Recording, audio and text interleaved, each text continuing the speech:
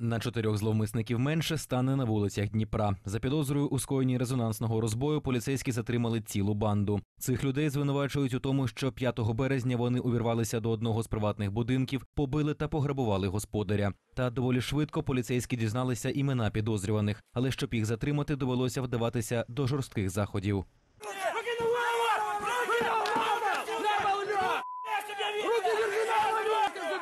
Руки держи! У автомобілі одного із затриманих поліція знайшла три пістолети та чорний одяг для маскування. І це ще не все. Про подальші знахідки читаємо на офіційному сайті Нацполіції.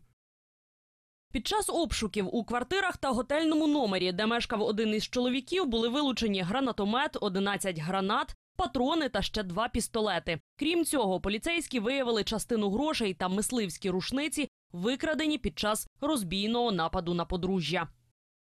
Правоохоронці кажуть, що до складу цієї банди входили ще й інші люди. Наразі їх розшукують, а затриманих перевіряють на причетність до аналогічних злочинів на території області.